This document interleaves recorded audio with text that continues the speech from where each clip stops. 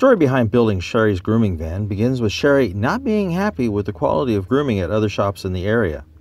I saw this and I kept asking her if I could build her a mobile grooming salon. One particularly bad day, I came home and told Bill to build it.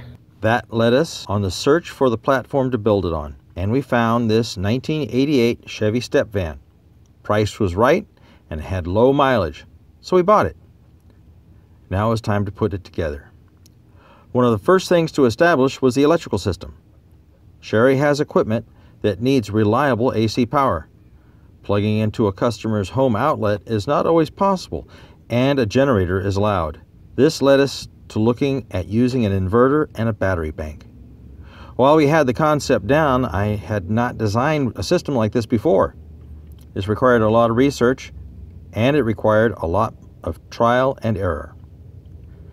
This video is about what is working and how this design grew out of what we tried. The design of the system is based on a battery bank of six 6 volt deep cycle golf cart batteries. These are connected in a series parallel design to produce 12 volts and over 600 amp hours of power. This may sound like a lot, but it is just enough for some grooming jobs. The battery bank is connected to a 3000 watt modified sine wave inverter. This provides most of the AC power to the grooming salon. As this inverter is over 9 years old, the technology is getting old and it is nearing the end of its service life.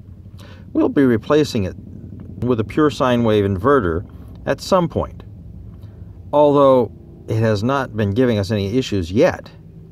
The power comes from the inverter and to a circuit breaker panel to distribute to the devices in the mobile salon, including the fluorescent lights, the high velocity dryer, the power strip for the clippers, and the recirculating pump for the grooming tub. Of these, the HV dryer uses the most power. The HV dryer helped to identify the weak points in the system. While the recommendations of several websites said that 1 aught cable would handle the load of 3000 watts, I found that I needed to double this to get enough power to the inverter from the batteries. And the batteries would have the power, but it was not getting to the inverter. And it would alarm a low power condition, and shut down. This would happen at a time when I needed to blow dry a dog and would have to go reset the inverter. The thicker 2 aught cable helped, but the next thing needed to complete the system was a battery charger, and that helped even more. Having a full charge on the battery bank is more important than one might think. To provide charging to the batteries, I set up a connection to the alternator of the van to charge while driving. But this is not enough to keep a bank of batteries conditioned to a full charge. It was only after adding a 50 amp AC to DC converter charger that I would get a full charge on those batteries. It has the added benefit of providing additional power when it is plugged in while using the HV dryer. Plugging in at a customer is needed at times, and this helps to keep the batteries topped up. The reason Sherry needs to plug in is to use the air conditioner. The modified sine wave inverter will not run the AC unit in the van properly. A pure sine wave inverter would be needed for the AC. The need for air conditioning in places that don't have a place to plug in has led us to adding one more power source to the van a generator. The generator we have is from Harbor Freight and is able to produce over 7,000 watts. But it is loud.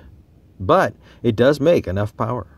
Getting the generator also makes it possible to add another AC unit, but the AC will be another video. Thanks for watching our video.